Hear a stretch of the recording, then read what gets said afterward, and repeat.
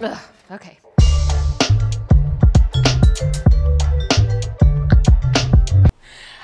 Things before we start. I really wanted to get these recipes out to you before the festive season begins. So you have these to draw from. These are like the easiest recipes, easy for people who have no idea what they're doing in the kitchen. This video is for you. The plant-based bundle is still going on strong until November 27th. So if you're interested in that at all, make sure to check the link down below and let's get into these amazingly easy and delicious and still healthy recipes. So we have so many spaghetti squash. I wanted to do an Italian inspired spaghetti squash and this is gluten free because we're not using pasta. So the first thing you wanna do is cut into your squash, which is very hard. Ugh, okay. Now I'm just gonna scrape out the seeds. Then I'm just gonna use a head of garlic. I'm gonna just chop the top off. And I'm gonna roast both of these in the oven for about 30 to 40 minutes. Just put a parchment paper down. I'm gonna put these guys face down. I'm not using any oil. It's really not necessary. And put my garlic face down also.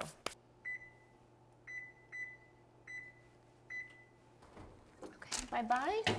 We'll see you when you're golden delicious. I'm going to use about 14 ounces of tomatoes. If you don't have them fresh, you could use diced tomatoes like in a can, a quarter cup of sun-dried tomatoes, and then I've got oregano, fennel, crushed red pepper, salt, onion powder and garlic powder. I'll give you the measurements in the full recipe. And then we're just gonna blend this up and make a really easy sauce.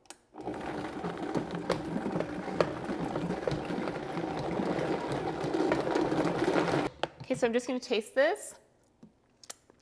Mm, that fennel in there is amazing. I'm gonna add a pinch of salt and that's, that's it for the sauce. I'm gonna transfer this to a bowl and then we'll make the ricotta topping. I've got one cup of almonds here half a teaspoon of garlic powder, half a teaspoon of salt, or just salt to taste, a tablespoon of lemon juice. I'm gonna add about a half a cup of water. I might need to add more. Let's see how that goes. Then we're just gonna blend it until it is smooth.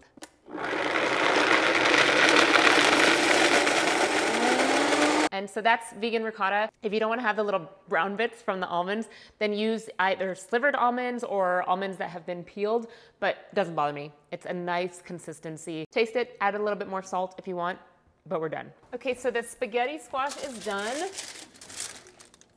Oh, beautiful.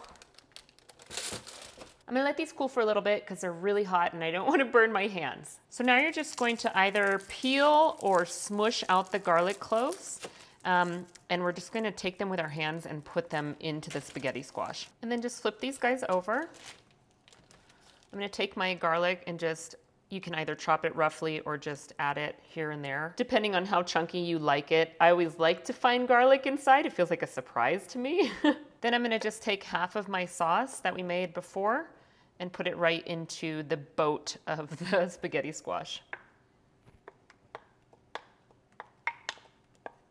And just make sure this is even. And pop this back in the oven at the same temperature for about 10 to 15 minutes. Oh, that looks so lovely and bubbly. Okay, beautiful.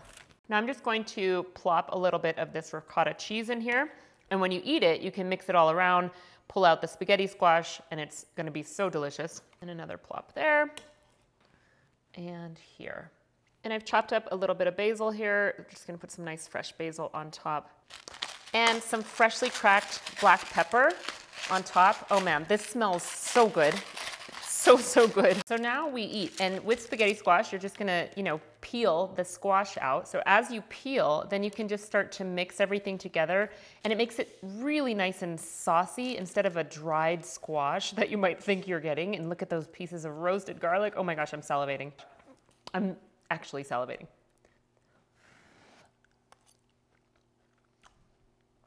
That is good.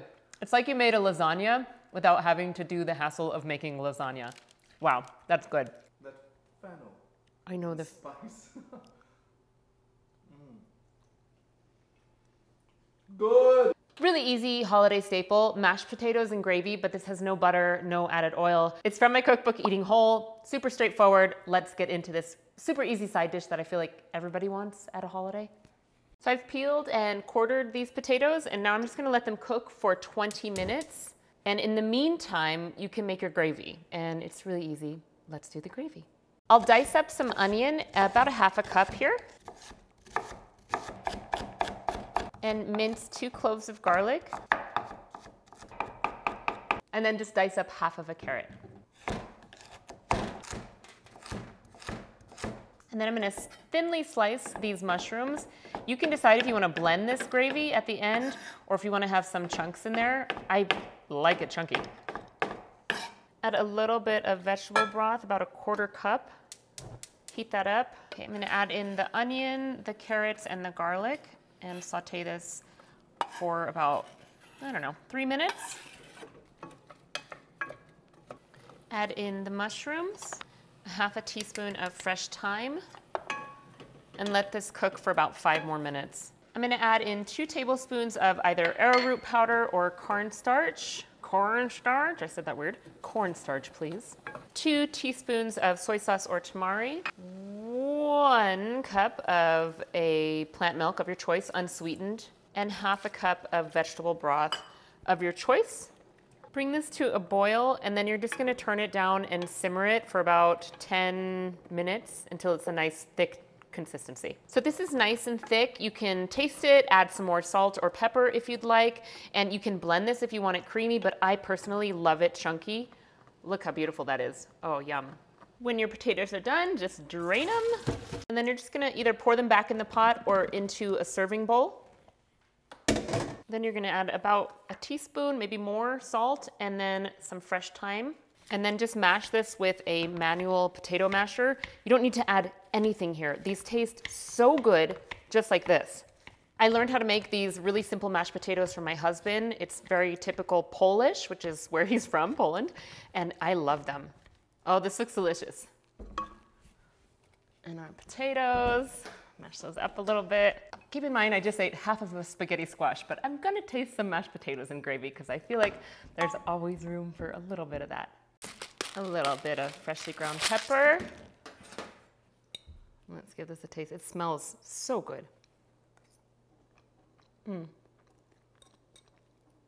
Perfectly delicious oil-free, very healthy. You can totally stay on track with something like this. This is such a hearty comfort meal, crowd-pleasing mashed potato and mushroom gravy. Yum. Yum. Oh yeah. These are really easy to make. This is one cup of dates that has been soaked in water. A cup of either oat flour, almond flour, or coconut flour. I've tried all three of those and they all work. Oat flour would be a better bet if you want to keep it lower in fat. And then a teaspoon of vanilla extract. Put it in the food processor and go.